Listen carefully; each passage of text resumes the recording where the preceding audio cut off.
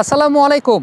সাম্প্রতিক সময়ে ইন্ডিয়া সিরিজের নেট প্র্যাকটিসে ডেভিড ওয়ার্নারকে দেখা গেছে ডান হাতে তিনি ব্যাটিং প্র্যাকটিস করছেন। ডেভিড ওয়ার্নার তো বাহাতি ব্যাটসম্যান। তিনি কেন ডান হাতে ব্যাটিং প্র্যাকটিস করছেন? এর আগেও বিভিন্ন সময় নেট প্র্যাকটিসে ডেভিড ওয়ার্নারকে ডান হাতে ব্যাটিং করতে দেখা গেছে।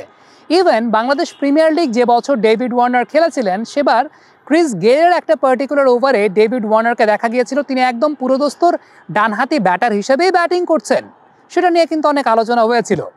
বিশেষ করে ক্রিস গেইল যখন একজন ডানহাতি অফ ব্রেক বোলার, তার এগেনস্টে ডানহাতি ব্যাটিং করলেই কিন্তু একজন ব্যাটসম্যানের ইজি হয়ে যায়। অর্থাৎ একজন অফ ব্রেক বোলারের এগেনস্টে একজন ডানহাতি ব্যাটার বল ইনকামিং পাচ্ছেন, তার জন্য খেলাটা অনেকাংশে ইজি সো ডেভিড ওয়ার্নারের মধ্যে এরকম একটা অ্যাম্বিডেক্সট্রস ব্যাপার কিন্তু রয়েছে। তিনি ডান হাত বা হাত দু হাতে ব্যাটিং করতে পারেন, যদিও তিনি ট্রেডিশনালি একজন বাহাতি ব্যাটার বাট তারপরও তাকে সুইচ হিট রিভার্স সুইপ এসব করতে দেখা গেছে। কিন্তু হঠাৎ করে ইন্ডিয়া সিরিজের নেটে কেন তিনি ডান হাতে ব্যাটিং প্র্যাকটিস করছেন, সেই প্রশ্নটা কিন্তু চলে আসতে পারে।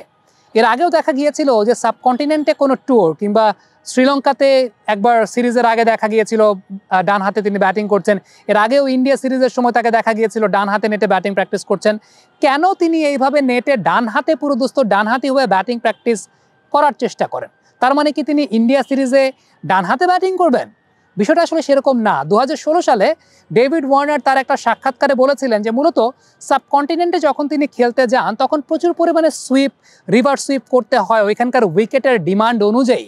এবং তখন যাতে হেড পজিশনটা পায়ের পজিশনটা গ্রিপ পজিশন সেগুলো যেন অ্যাকুরেট হয়, সেই অ্যাকুরেসিটা মেনটেন করার জন্য এনশিওর করার জন্য ডেভিড ওয়ার্নার সাবকন্টিনেন্ট ট্যুরের আগে প্রচুর পরিমাণে নেটে ডান হাতে ব্যাটিং প্র্যাকটিস করে থাকেন, যাতে ম্যাচে গিয়ে যখন একটা fraction of a second fraction of a মোমেন্টে তাকে সুইচ করতে হচ্ছে, এই সুইচ করার সময় তার যাতে ওই মাসেল মেমোরিটা বিল্ড আপ হয়ে যায়, ডান হাতে ব্যাটারের কীরকম হেড পজিশন থাকে, কীরকম পায়ের পজিশন থাকে, ওইটাকে তিনি এনশিওর করতে চান।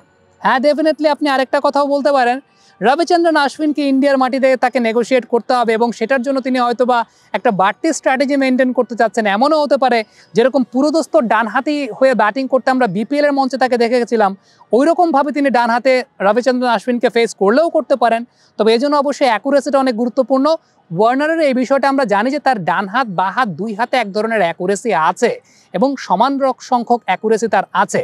বাট ইন্টারন্যাশনাল সার্কিটে সেগুলোকে ইউটিলাইজ করা কিংবা সেটাকে অ্যাপ্লাই করা, সেটা ডেফিনেটলি অনেক ডিফিকাল্ট এই কারণেই এই প্র্যাকটিসের জায়গাটা করেন। সো মূল বিষয়টা যা, তা হচ্ছে সাবকন্টিনেন্টের উইকেটে যেখানে অনেক বেশি মাত্রায় সুইপ রিভার্স সুইপ করতে হয়। ওই রিভার্স সুইপ বা সুইপের সময় হেড পজিশন পায়ের পজিশনটাকে এনশিওর করার জন্যই ডেভিড ওয়ার্নার মূলত নেটে ডান হাতে ব্যাটিং প্র্যাকটিস করে থাকেন। আপনাদের এরকম আরও অনেক প্রশ্ন থাকতে পারে। অবশ্যই অবশ্যই কমেন্ট বক্সে সেই প্রশ্নগুলো আমাদেরকে লিখে পাঠাবেন।